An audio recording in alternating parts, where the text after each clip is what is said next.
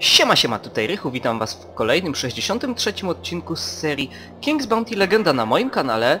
E, Jak widzicie, dzisiaj dalej jesteśmy w tym miejscu, gdzie byliśmy. E, Tutaj będziemy sobie powoli wykonywać kolejne questy dla krasnoludów. Co to jest? Usłyszałeś śpiew dalekich głosów i mimowolnie go posłuchałeś. Kiedy złudzenie zniknęło, zrozumiałeś, że teraz wiesz dużo więcej o walce.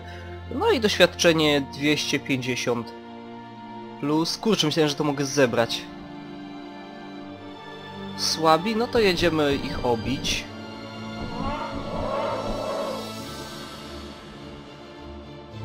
Ale fajne takie zimowe klimaty.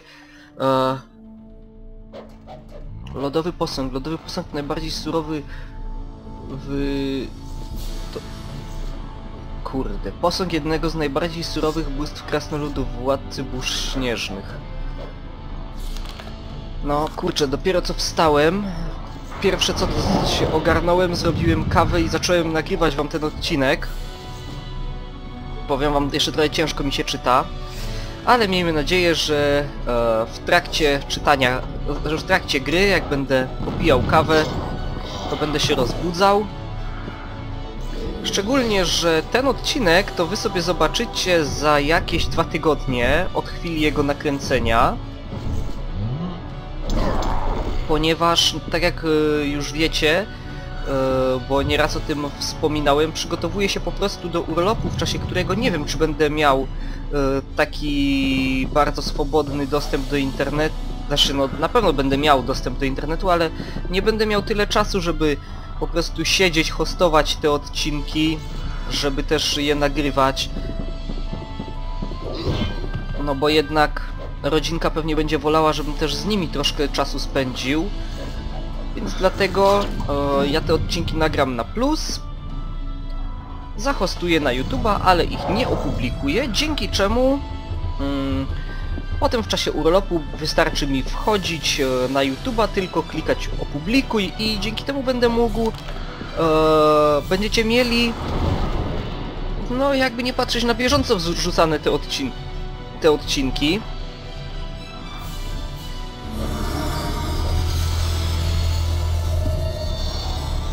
Zawsze będziecie mieli jakiś materiał z gameplaya tutaj.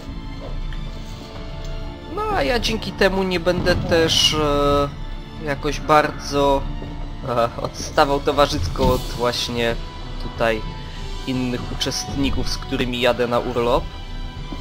Bo jadę z rodziną na urlop po prostu. E,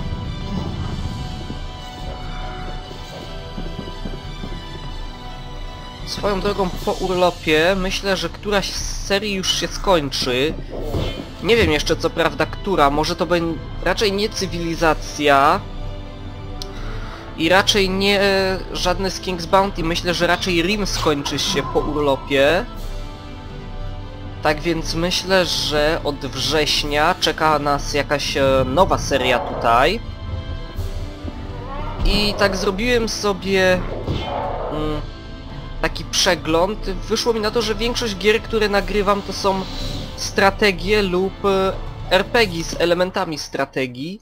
Dlatego kolejną rzeczą, którą e, wam nagram, jeśli oczywiście wszystko pójdzie zgodnie z planem, to będzie e, coś podobnego do Free Space'a, ale właśnie z elementami RPG. To będzie e, strzelanka w kosmosie, z elementami RPG, która nigdy nie wyszła niestety w Polsce, a bardzo żałuję, bo była to, bo jest to gra naprawdę dobra, bardzo dobrze zrobiona fabuła, bardzo interesujący sposób e, przedstawienia właśnie tego wszystkiego tam jest. Dlatego mam nadzieję, że moja propozycja trafi do Was, że Wam się spodoba. Niestety ta jest tylko wersja angielskojęzyczna, więc no będę musiał najwyżej troszkę potłumaczyć dla osób, które no nie za bardzo rozumieją y, angielski, no bo ja rozumiem, że dzisiaj nie każdy musi perfekt mieć opanowany angielski. Są tacy, którzy na przykład od y, początku szkoły uczyli się jako języka obcego niemieckiego i umieją bardzo dobrze ten niemiecki w czasie, gdy ja uczyłem się angielskiego od przedszkola. No i dlatego ja o wiele lepiej umiem angielski niż e, niemiecki. W sumie to po niemiecku umiem dwa, może trzy słowa. Dobrze.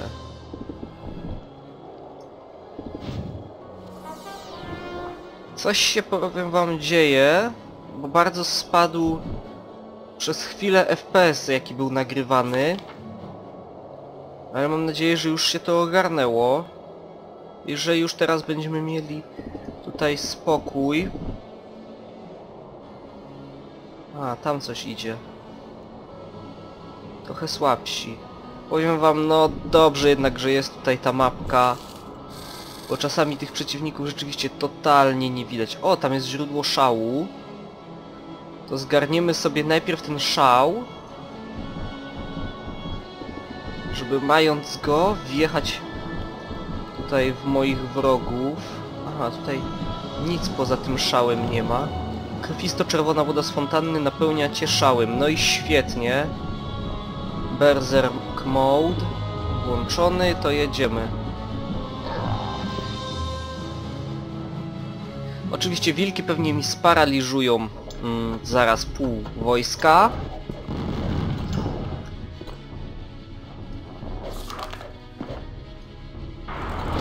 No, albo i nie zdążą tego zrobić, świetnie.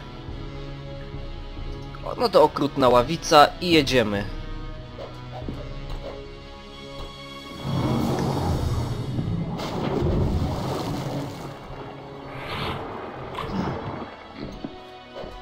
Pokażę wam jeszcze też e, nową umiejętność naszej koleżanki, którą nabyła, której jeszcze wam nie zaprezentowałem. No jest ona dosyć ciekawa.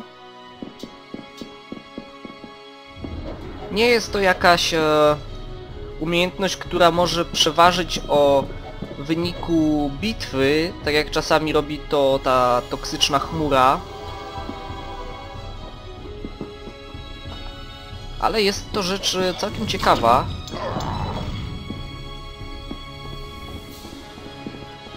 Tylko niech mi nie zgarną tej skrzynki.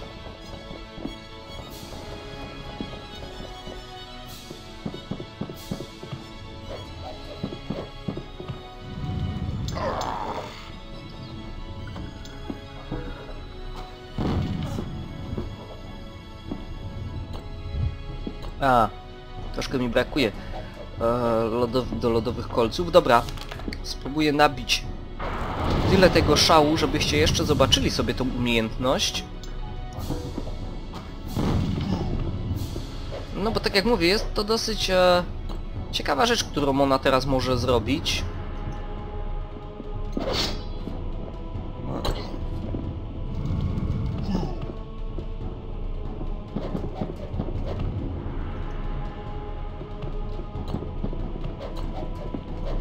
Oczywiście złoto. O. Lodowe kolce.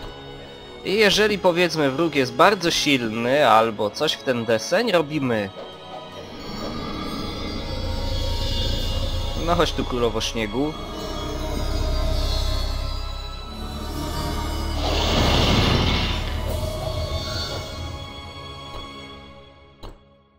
No właśnie, jak widzicie, przeciwnik e, e, został tutaj troszkę przyblokowany. Tu wprawdzie pisze, że e, niezwykle krucha przeszkoda stworzona przez lodowego ducha szału. E, tak, bo to jest bardzo słabe. Mm, to działa mniej więcej na takiej zasadzie jak e, ta ściana e, kamienna od e, Zeroka, tylko że tego jest po prostu więcej i to otacza przeciwnika, przez co on musi tutaj e, no po prostu zużyć e, swoje punkty ruchu na właśnie skruszenie takiej przeszkody.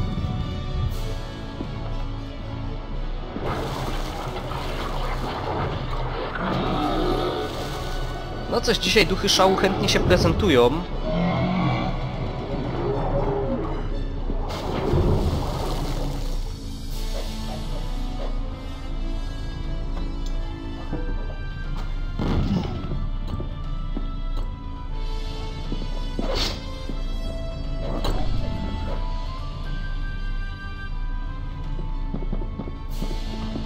Koledzy będą mieli pecha. No bo wiadomo, nie będą w stanie za szybko się przebić tutaj. A nawet jeśli, to atakując rywala, tego moje, ten mój oddział, no to i tak jednak... E, tutaj jeszcze ta zbroja gluta jest, którą założyłem.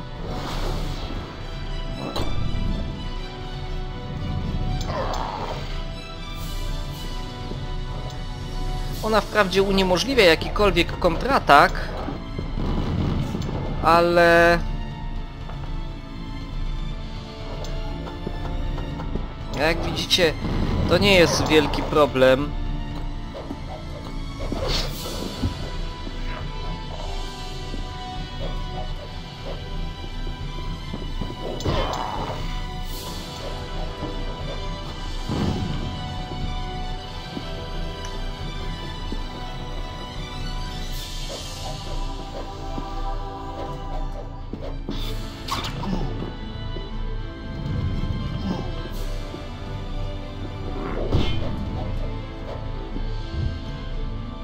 Powiem wam, fajnie ta zbroja trzyma, a wiadomo, im większy, im wyższy jej poziom, tym ona więcej tych punktów będzie miała, tym e, wytrzymalsza będzie. No dobra, tutaj kapłan padł.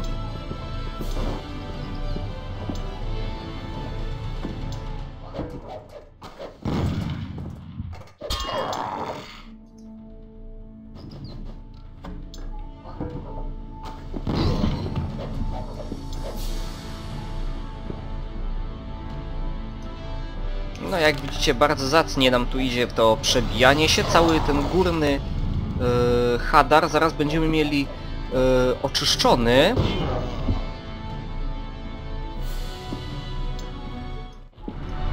No wiadomo, doświadczenie to jest już teraz yy, naprawdę bardzo niska ilość, bardzo mała ilość tego doświadczenia już jest nam przy...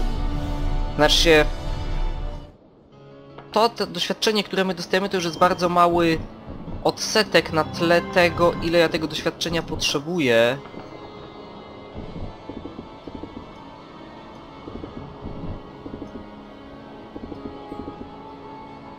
Silni.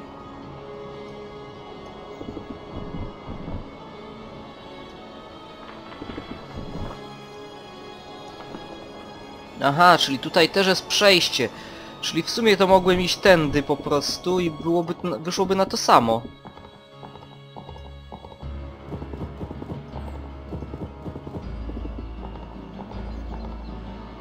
No, bo tędy mogę sobie normalnie zejść znowu do tych kopalni.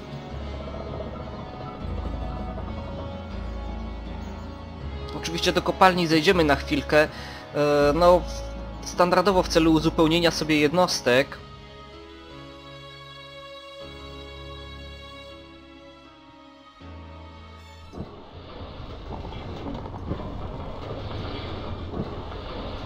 Co ja tu mam w rezerwach? Aha, w rezerwach mam alchemików. No, w sumie mógłbym sobie wziąć tych e, alchemików tutaj. Szczególnie, że mogę ich z tego co wiem kupić w zamku, koło którego mam misję, więc... E, tutaj jak najbardziej, widzicie ładnie nam się to e, zapętliło. Bo przeszedłem po prostu przez e, krainę. Wyciąłem tam na górze wszystko co chciałem.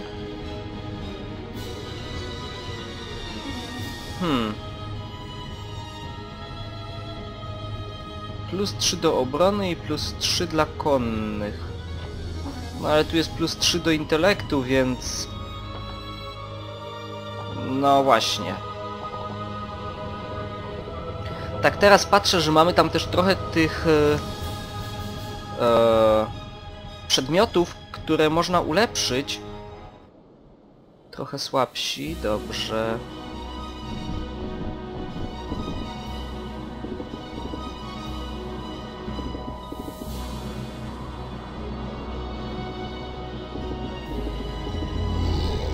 Hmm, tam widzę jakaś jaskinia jest. Oczywiście zaraz sobie tam e, do niej zajrzymy. Dobra, duchów na razie nie mam do dyspozycji.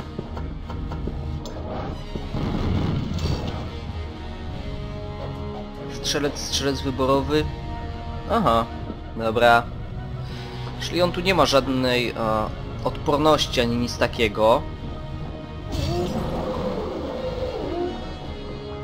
Nie wiem wprawdzie co znaczy umiejętność strzelec wyborowy, musiałbym sobie o tym poczytać.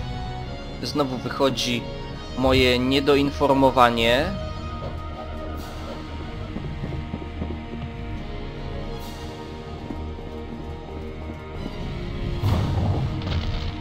Ale to chyba znaczy, bo jak widzicie, e, jeżeli cel jest bardzo daleko, to ja czasami mam tą strzałę taką złamaną.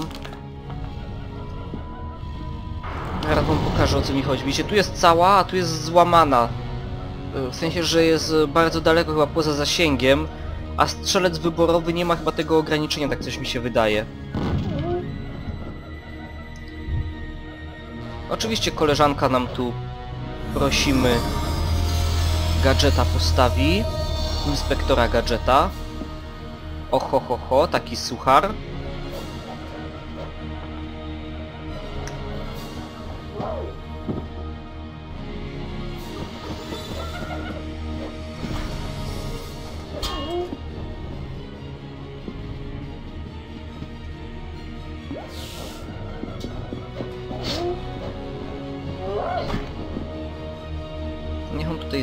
Zaczeka.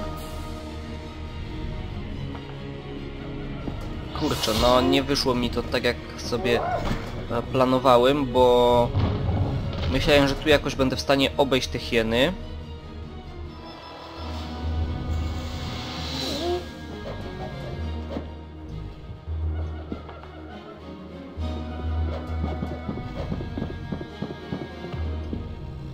Oczywiście kulą ognia też musimy cały czas tutaj naparzać.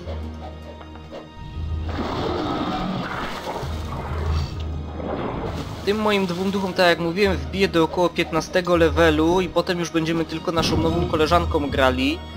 E, Z prostego powodu, ponieważ ona ma trochę niższy ten level, musimy to wyrównać, bo za niedługo będziemy schodzili do na tereny demonów, przepraszam was. Mm.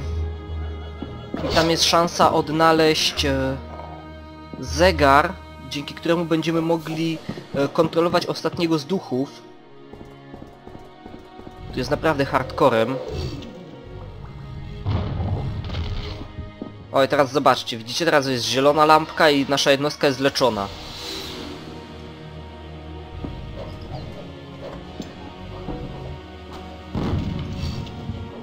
Gadżet, powiem wam, świetna sprawa. No i tu jeszcze przyłożymy z mieczyka.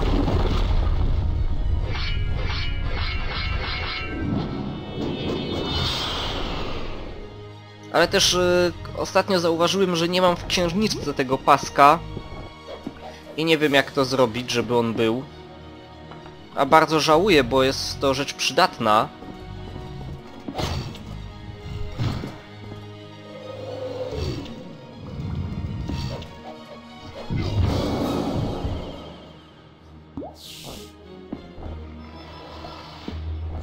Dobrze przynajmniej, że gadżet się nie myli i nie może zaatakować nas, e, naszych jednostek. No to byłby troszkę przypał.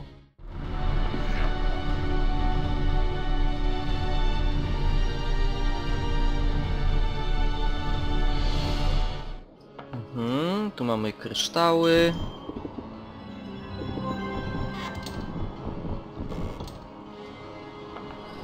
Złoto oczywiście jak zawsze znaleźliśmy. Co my tu mamy? Jaskinia cyklopów. No, cudownie. Słabi, no to jedziemy.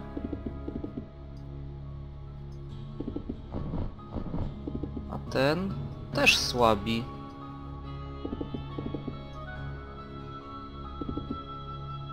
No to fajnie, cieszy mnie to.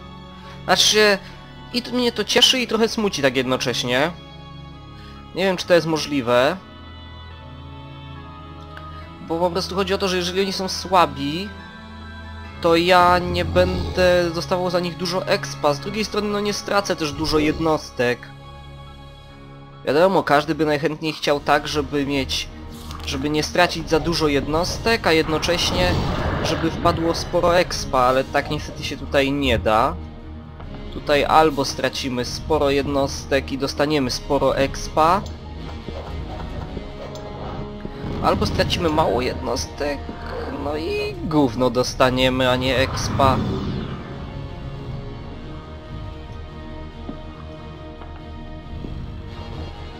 Jak widzicie, plansza wygląda dokładnie tak jak e, tutaj teren, na, po którym podróżowaliśmy. Więc to, no, jak widzicie, to była racja, co wam mówiłem, że tutaj e, teren ma wpływ na to, mm, jak będzie wyglądać pole bitwy.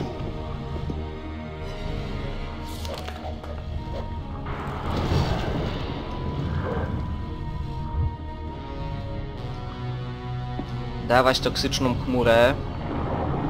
A powiem wam, grafika jest naprawdę przepiękna w tej grze. To nie chodzi o to, że jest jakaś... e, W sensie nie chodzi mi o fotorealizm, czy o coś takiego. Chodzi mi właśnie o to, jak ona jest precyzyjnie dopracowana. Jak przyjemna dla oka. To jest naprawdę świetna. Zobaczcie sobie, jak to wszystko fajnie tutaj wygląda. To nie jest... W większości gier tam byłoby w tle, no, nic. Albo ewentualnie jakieś niezbyt atrakcyjne rzeczy. A tutaj jednak to jest wszystko ładnie dopracowane w szczegółach. Najmniejszy detal jest e, dopracowany, tak jak tu widzicie, jak cienie właśnie, jakieś promienie światła, które tam wpadają. Tutaj o wszystkim tym twórcy jednak pamiętali i to tworząc każde pole bitwy.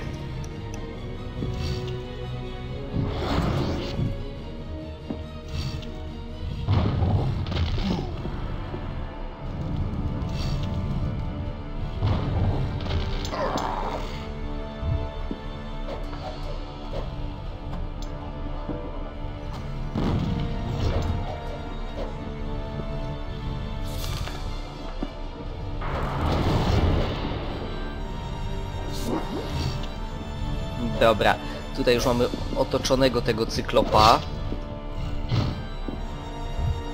Oczywiście Lina jest proszona o zesłanie tutaj gadżetu.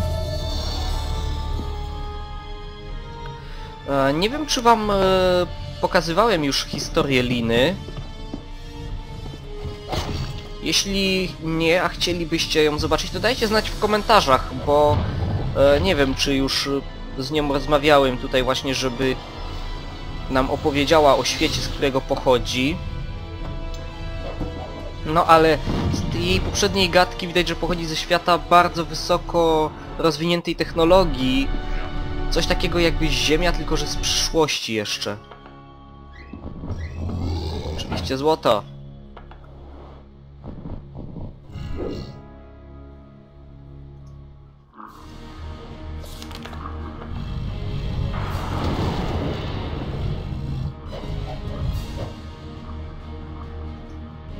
No to gadżet odpalamy.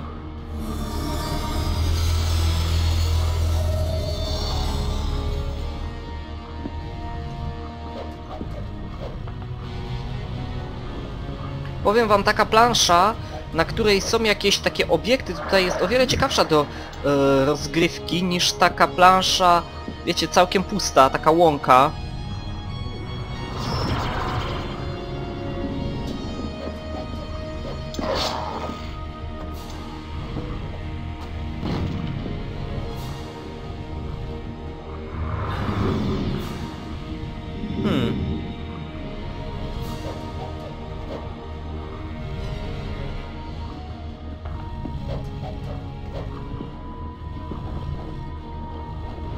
Tutaj udało nam się ładnie e, zranić tą, że tak powiem, bronią chemiczną przeciwnika. przekręcimy sobie troszkę kamerę w tą stronę. Po prostu widzicie jak ten gadżet lata, to ja tak nie za bardzo widzę sam się na którym polu są te jednostki, więc troszkę sobie przekręcimy kamerę.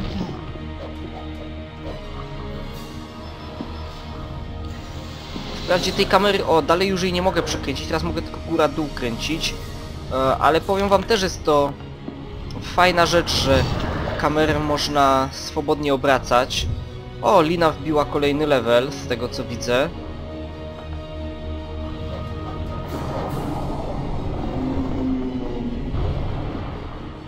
Dobra, teraz już normalnie będę mógł tutaj wszystko widzieć.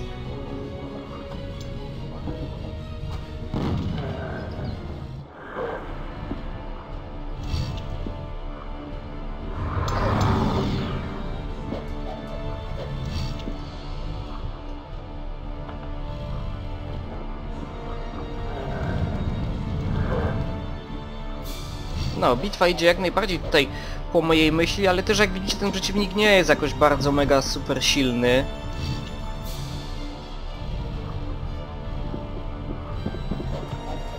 Więc no tutaj nie może być mowy o jakimś e, spektakularnym zwycięstwie.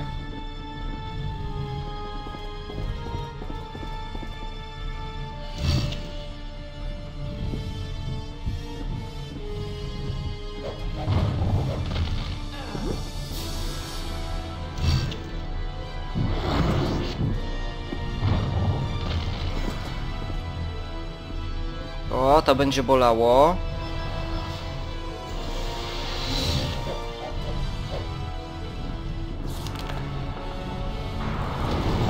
No, to skończyliśmy kolejną bitwę i zaraz też będziemy kończyli ten odcinek, ponieważ ja tutaj widzę, że już mija nam prawie 30 minuta.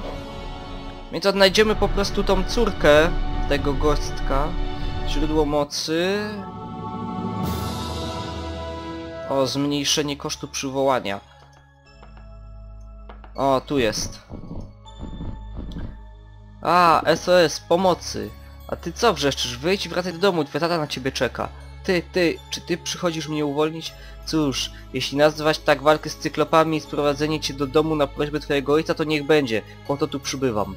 Cyklopy trzymają mnie w niewoli kilka tygodni, musiałam czyścić im jaskinię i nie było jak uciec. Dziękuję ci. Odwiedź mnie, napoję i nakarmię cię czymś pysznym. Dzięki, leź do ojca. Dobra. Jedziemy oczywiście od razu tutaj do jej ojca. E, pogadać sobie. Oczywiście ona się tam zaraz pewnie zrespi w tym zamku. Bo to nie jest tak, że... Mm, ten oddział e, musimy jakoś eskortować. Wprawdzie są tu misje eskortowe. Ale mm, nie ma ich zbyt wiele, są chyba dwie czy trzy tylko w całej grze. Jedna była z tym misiem na początku samym, jakieś 50 odcinków temu. A wiecie, ona już tutaj jest. Oczywiście ja sobie dokupię jednostki. Hej, to znowu ty, Rychu. No i jak znalazłeś moją gerdę? No, oczywiście, stoi przy tobie. Otwórz oczy, krasnoludzie, oto twoja córka. Ty, Leniu, gotowa jesteś zrobić wszystko, byle nie pracować. Znowu mi powiesz, że porwał ci jakiś potwór smok albo olbrzym, który tym razem. Ty sobie gdzieś łazisz, a tu schody się rozwalają. Pewnego dnia twój ojciec może spaść ze schodów i złamać sobie kark. Wtedy zobaczysz. Idź i szybko je napraw. Dziękuję, dobry człowieku. Weź to, tak jak ci obiecałem. Dziękuję, Tadumie, do zobaczenia. No, widać, ona nie będzie miała łatwego życia z e, ojcem. Hmm. Zostało nam tutaj z pająkiem.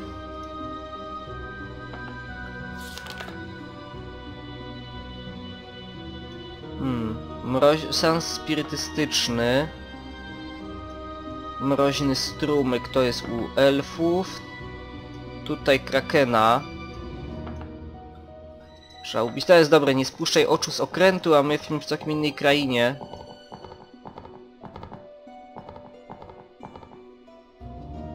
ten sam poziom? Nie, nie, nie, nie, nie, nie, nie, nie, więc na razie się wycofamy. Wow, jak tu daleko mnie ma zamiar gonić. W mordę. No i on teraz sobie spokojnie powróci tam na swoją pozycję. Tu jednak mija nam już 30 minut, tak więc ja będę e, wracał powoli do... Mm, Zamku Królewskiego, żeby uzupełnić sobie oddziały. I w następnej misji, w następnym odcinku myślę, będziemy już tutaj e, podróżowali w celu wykonania sobie kolejnej misji e, głównej z wątku fabularnego. Tak więc, jeżeli Wam się podobało, to komentujcie, subskrybujcie, lajkujcie, oceniajcie i zapraszam Was już wkrótce na kolejny odcinek e, z King's Bounty. Tak więc dzięki i na razie!